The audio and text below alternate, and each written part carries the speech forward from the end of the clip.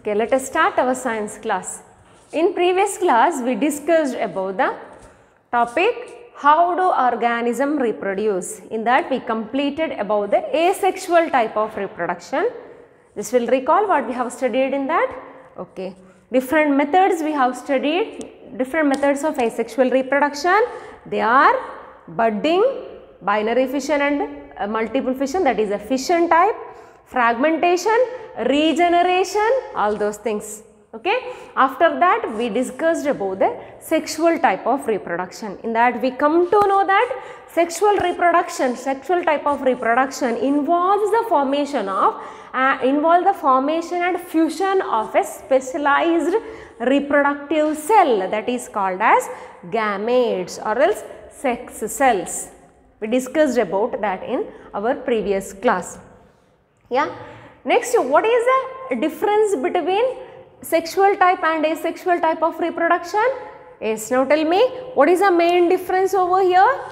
Sexu asexual means a single organisms involves in the formation of uh, or else it involves the reproduction, involves in the process of reproduction. If it is in the asexual type, there is a involvement of two individual that is a father and a mother. Upon that we are discussed about the gamete. Gamete formation is involves or is presence in the sexual type of reproduction. In asexual types there is no such a things gametes are not present in uh, within a body itself it is going to divide into a small pieces like fragmentation or as regeneration. Finally it uh, develop as a new organisms. Okay? Yeah. So we have completed about the asexual type. We'll discuss about the sexual reproduction in okay? In animals. Student in today's class we are going to study about the sexual reproduction in higher plants that is we'll study the process of sexual reproduction in most advantage advanced uh, plant groups okay? Group of plants. That is called as what? Angiosperm. In 9th standard we studied about the angiosperm. That is a type of plant. Why we are calling plants as angiosperms? Some plants as angiosperms. Because they are flowering plants. All the flowering plants comes under these angiosperms what about non flowering plants then they are called as gymnosperms. Gymnosperms are, they are not bearing or they are not giving any flowers. Okay. So, we uh, in today's class we are going to study about the uh, sexual reproduction in higher plants that is in the angiosperm. So, write down the heading student, subheading that is a in higher plants that is called as angiosperms angiosperms. Okay. In sexual reproduction itself, it is a sexual reproduction, sexual reproduction in in angiosperm. This is a heading. Come to know now? Yes. Next we will see which part of the uh, plant it is responsible for the reproduction. Which part we are calling as a reproductive part? Yes, flower is a reproductive part or a reproductive structure of the plant. If any flower, see if it is a hibiscus flower, see any flower it is, okay. All the flowers we are considering flowers as a reproductive parts of the uh, which a plant okay? If it is a mango if it is in any sapota or anything any okay? So a flower is a reproductive part of the plant okay? Next one question here student. What about the gymnosperm? Gymnosperm means it is not bearing it is not giving any flower. Then how they are going to reproduce? Just think of in 9th standard we studied about that. Just refer that answer for this question okay how gymnosperms are producing or else how gymnosperms are giving or else producing their young one. Okay. Yes, next we will discuss about the angiosperms. Okay. Next, see here where we can see the flower in plant In which part? Yes, flower is a part of the shoot system. It is a part of this shoot system modified for the purpose of reproduction. Generally, flower arises from the axial, axial part of the leaf or from the apex of the stem. Okay. So, generally flower is generally born on the stalk called pedicel. Do you know where this pedicel? See, this is called as pedicel. We can hold like this, see this is a pedicel part of the flower. Flower is generally born on the stalk called pedicel. This is, this part is called as pedicel. Come to know what is that? Pedicel. See, write down that term. Pedicel. Pedicel means flower are generally born on a stalk called pedicel. Okay. Now one question student. Are there plants which do not uh, produce flowers? Then how do they produce or else how they reproduce? Same question. Angiosperm are flowering plants then how they are how due to the sexual method of reproduction they are uh, reproducing and they are giving young one. But what about the gymnosperm without bearing flower in that plant how they are going to reproduce. Okay. Next we will discuss the structure of flower and the parts different parts of flower. See in exam also they will ask to you to, you to draw the uh, typical flower structure they will ask. So, that you have to draw the structure of a flower neatly with labeled labeling parts. Okay. Next we will see the different parts of flower. See this is a simple flower. In any flower we can show this but I am taking this flower. This is a hibiscus flower, shoe flower. See here. We will see one by one parts. See this part is called as what? Pedicel we come to know that this part is called as pedicel.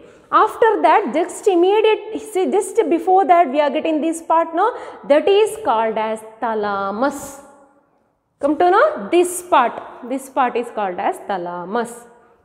Okay. What about this part green color see what about this part this is called as sepals. Sepals see thalamus pedicel, thalamus and sepals. What about these? These are the petals. How many petals are there? 1, 2, 3, 4 and 5 uh, petals are there in this flower. Okay. Next we can get this part. What about this part? Do you know? What is this part? What we are calling for this? Is this part is the main part for the reproduction of flower okay this is a main part for the reproduction part purpose see this is a reproductive part of the flower mainly next we'll see we'll remove this okay i'm going to remove both the pedicel thalamus and which one this yes. Sepals. Next i will going to i'm going to remove this one. Okay i removed all the petals. All the petals I removed. Say I am going to remove see. Now I got this part now see this is the main part of uh, my main reproductive part of the flower.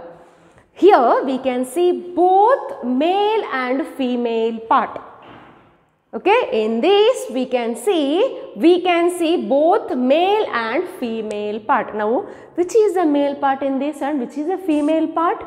Yes see here. We can see somewhat yellow colored part over here no?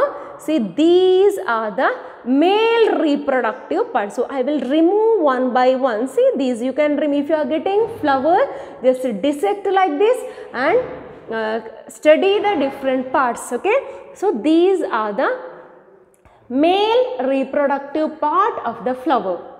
Okay? These are the male reproductive part. so i am going to remove all the male reproductive part, see? When I am removing all the male reproductive part, see? Now this is a female reproductive part. Finally, I got the female reproductive part of the flower. Okay, next we will see what is this part, we will name this part. See totally we are calling for this full reproductive part uh, sorry female reproductive part as a pistil. What is that? Pistil. Okay or else we can call it as a carpel. See this full fully from here to here this is a pistil. Okay I will write here. See this is a pistil.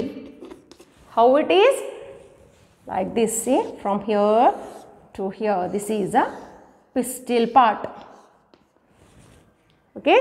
Next, if you are going to dissect this pistil part or else part, that is a female reproductive part of flower, we will get other other parts. Okay.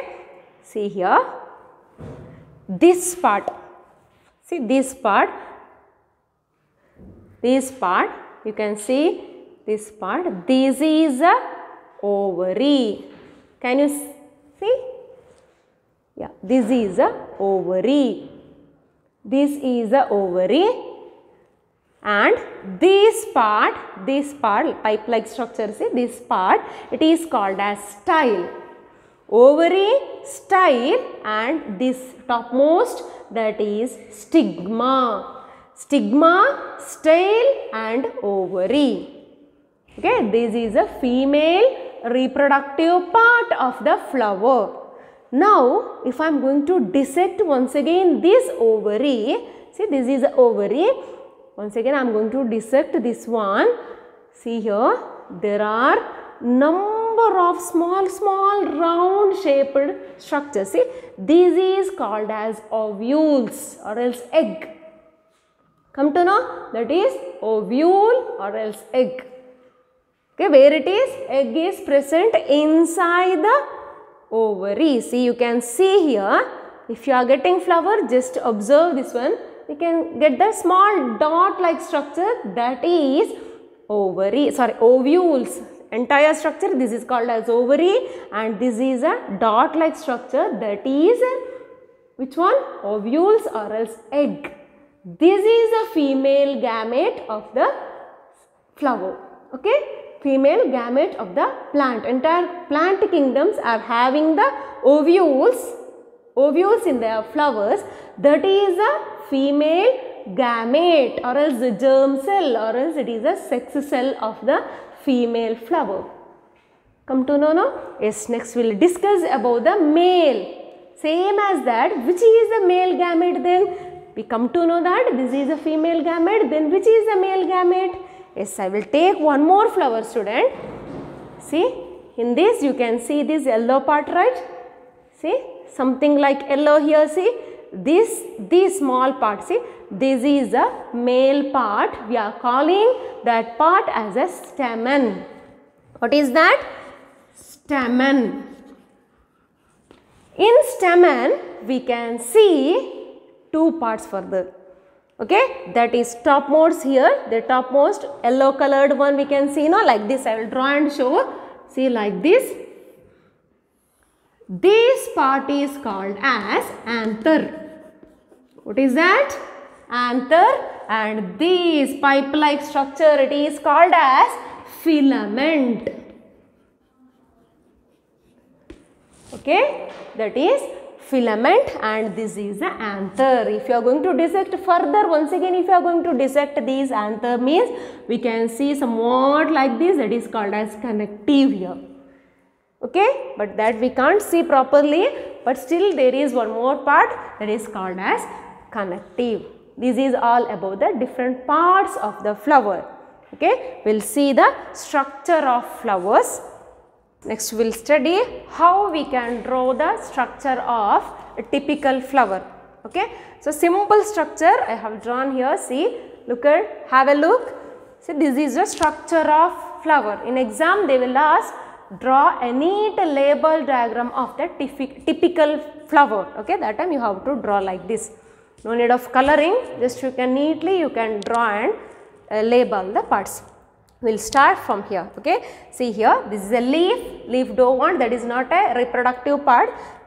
Simply I have drawn for the uh, what a decorative purpose only that much okay? See from we will start from here. See this is a pedicel how we are holding okay? That is a pedicel. Next this part is called as thalamus. After that, we can see green colored that is sepals. Next, these entire round, see, this is a ovary. Inside the ovary, we can see the ovules that is a female gamete. Okay. Next, it elongate like this. See here, it will end in stigma. This tube is called as style. So, stigma, style and ovary collectively we are calling that as a pistil or else carpel. Okay. Yes, next we will see. This is a female part and male part that is called as stamen. In stamen, see entire these and this fully we are calling it as a stamen. This topmost, this part it is called as anther. And here this anther continues that is filament. Okay? This is all about the structure of flower. Okay? And you have to draw like this and you have to label like this. Okay next we will see. Upon that there are number of parts. Just will uh, uh, will study that one. See here. Tip of the pedicel is called as what? Uh, tip of the pedicel is enlarged to form a disc shaped thalamus. This is a disc shaped thalamus. Next flower consists of four set of floral organs. What are they? Is sepals petals stamen and carpel or else pistil. Okay? Next stamen consists of male part. A flower bears a certain number of stamen collectively we are calling that as a you have studied in 8th standard that is. Androecium means that is a male part of the flower is called as androecium and stamen consists of three parts once again what are they? Anther connective and filament. Next anther bear four chambers of pollen sac. Where it is now? Pollen sac. See anther like this. It bears it bears four sac of pollen sac it is okay? Like a bag like structure it is. That is called as four chambers of pollen sac each filled with pollen grain. What is that pollen grain? Pollen grains. Okay this pollen sac is filled with pollen grain. The pollen grain ripe is released from within the anther through the narrow slit to produce see here narrow slit to produce male gamete or else spores. Male gamete is also called as spore. Okay, female gamete is also called as egg or else egg cell. Yes, next we will discuss about the carpel. Carpel in some, some flowers we can see only one carpel like hibiscus only one carpel is there. Some other plants or else other flowers it have more than that okay. More than one carpel we can see. They are collectively known as gynoecium. What is that? Gynoecium. Um, ma male part is called as androecium. Female part is called as gynoecium or else pistil or else carpel. Three names are there. Okay. Next three parts are there in the gynoecium. What are they? Stigma, style and ovary. Next ovary bears ovules contain egg cell or else egg. Okay. This is all about the structure. Next will I will show you how to draw these flowers typical structure of flower. Okay. Okay. From where we have to start? From where we have to start? From the pedicel. This is a pedicel. Okay. Just draw like this. This is what? This is a sepals. This is a sepal. Next start from like this. Just draw the which one is this? Is this is a petals. Just start like this and end up like this. Okay. This is a typical structure of flower in that thalamus. Upon that pedicel, upon that sepals we have drawn petals.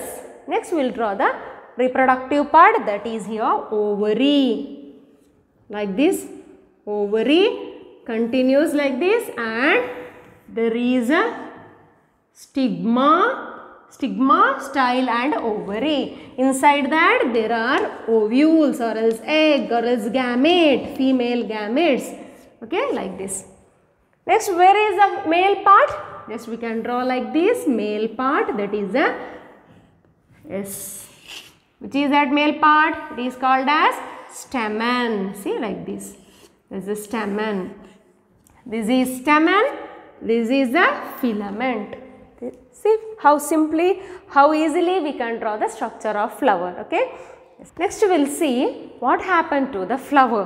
When the flower is matured, matured flower means fully flowers it is fully blooms bloomed flower means we can see that is a it means that that is a matured flower okay when the matured flower in matured flowers there is a second part that is pollination occurs.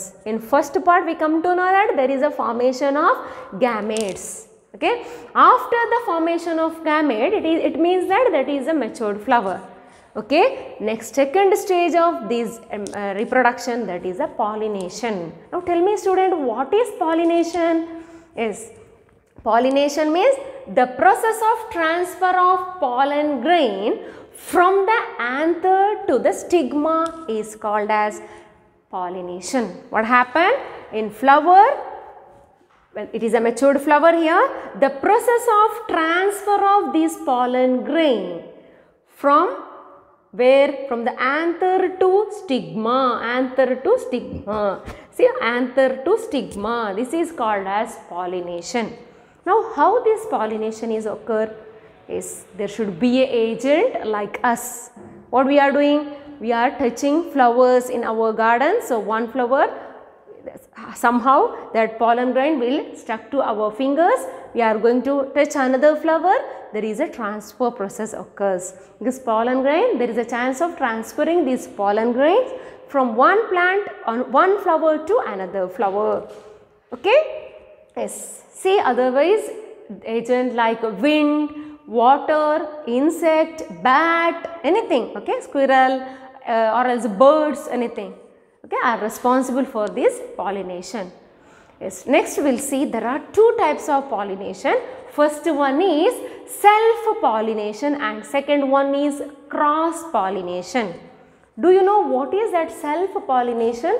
Self-pollination means there is a transfer of this pollen grain to the stigma but it should be in the same plant or else in the same flower. See here the pollen grain is uh, here the process pollen grain is occurs means from say it is a single plant a single flower in this flower itself the anther see in anther the pollen grains are transferred from here to here means we can call that is a self pollination or else plants in same plant there are two flowers like this here pollination occur from this anther to this stigma then we can call that is also a self pollination Next, what about the cross pollination? Cross pollination means pollination occurs between the flowers of different plants. Okay, this is one plant and this is one plant. From here, there is a transfer of pollen grain to here means we can call that is a what a that is as uh, what a cross pollination. Now, can you define the term both?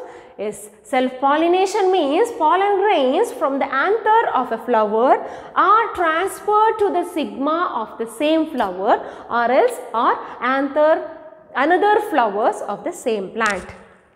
Next cross-pollination means if the pollen grain from one plant get transferred to the stigma of another flower in another part of the another plant but it should be the same species.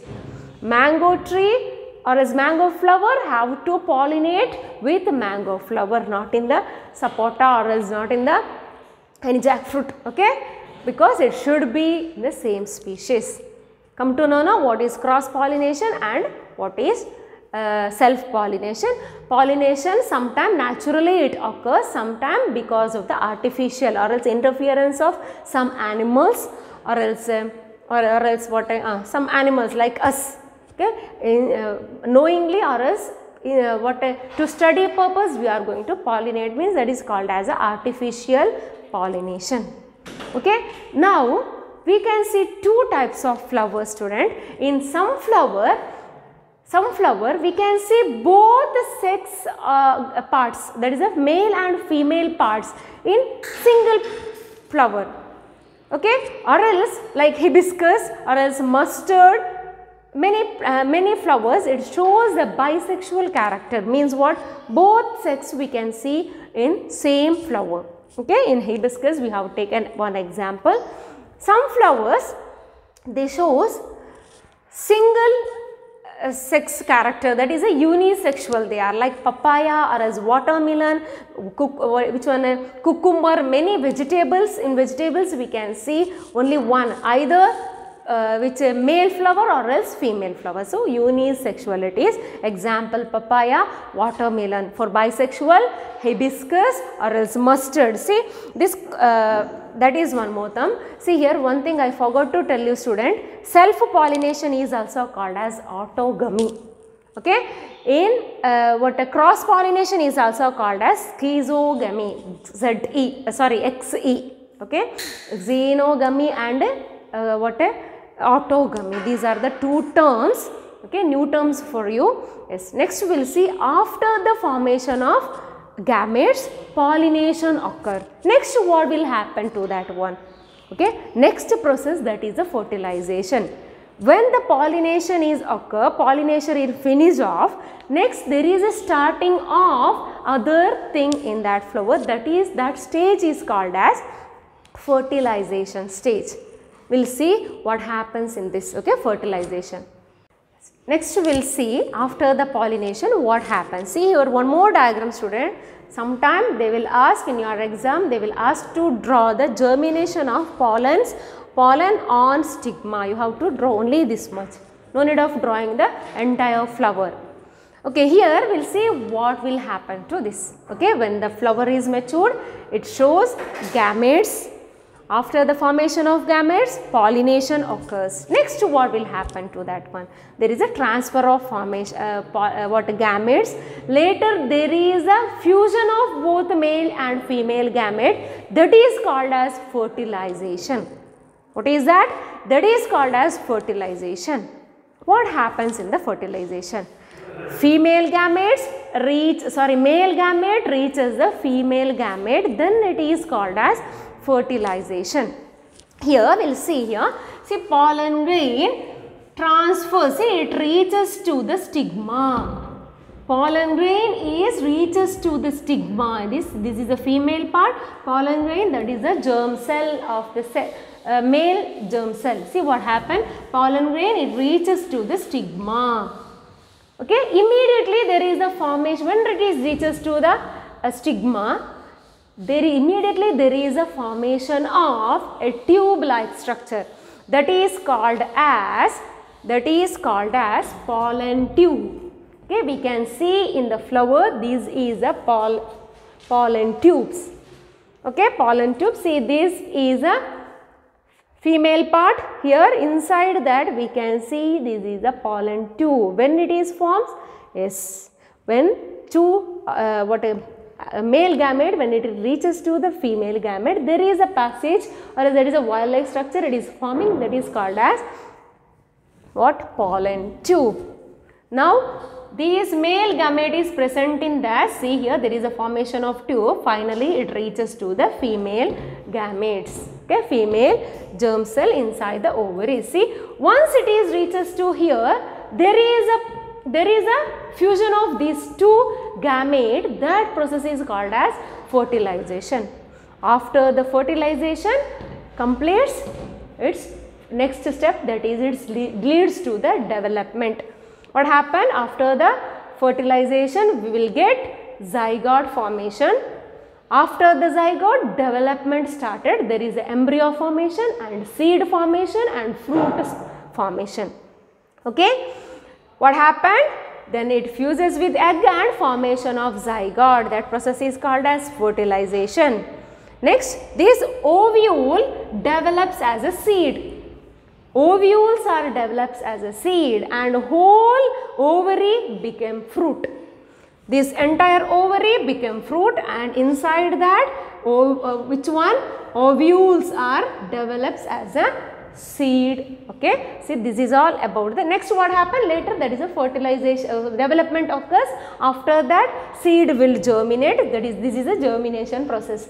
Seed will germinate and it will give one more new young plant okay? So this is all about the reproduction and development fertilization and development in higher plants like angiosperms okay? We'll discuss one by one what just will recall what we have studied in today's class we studied the different parts of flowers in that we come to know that there are different parts petals sepals thalamus all those things pedicels all those things. Upon that there are two an- androecium and gynoecium that is a male and female part.